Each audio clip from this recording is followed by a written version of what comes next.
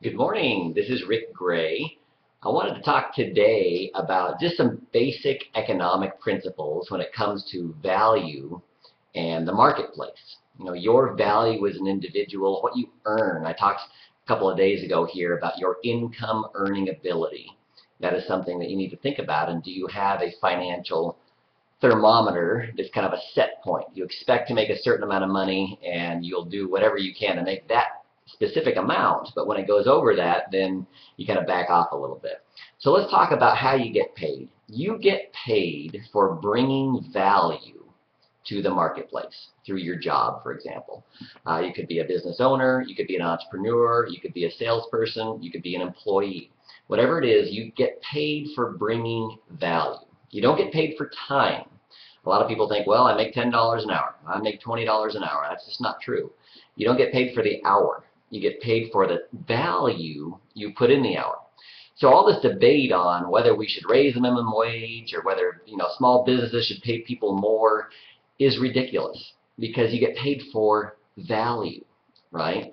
The value starts at you know whatever minimum wage is, I don't know, eight or nine dollars an hour, and it goes up from there. You know, incomes. There's people that make a hundred million dollars a year. There's people that make two hundred million dollars a year. Why would somebody make that much money? They are valuable in the marketplace. Not valuable as a person, but valuable to the market. So how do you get paid more money? It's pretty simple, right? Become more valuable. There's two things you can work on. You can work hard on your job, which is noble, and you can work hard on yourself, which is exciting. Right? You can have both noble and exciting. The way you get a raise is not to ask for a raise. The way you get a raise is to become more valuable to the company.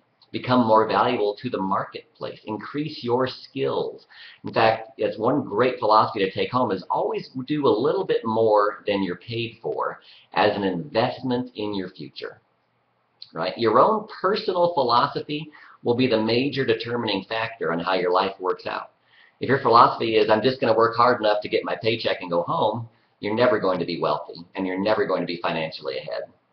If your philosophy is, I'm going to do more than I get paid for as an investment in my future, and I'm going to work on myself and increase my skill level so I become more valuable to the marketplace, then you'll make more money. That's how the world works. You know, this is a ladder to climb. It's not a bed. We shouldn't be debating over how much is minimum wage who cares? What we should be talking about is how are you going to work on yourself and make yourself more valuable to the marketplace? That philosophy will get you ahead in life. So start keeping a journal, writing these things down, and go to work on yourself, not just your job. Remember, you can have both noble and exciting. Have a great day.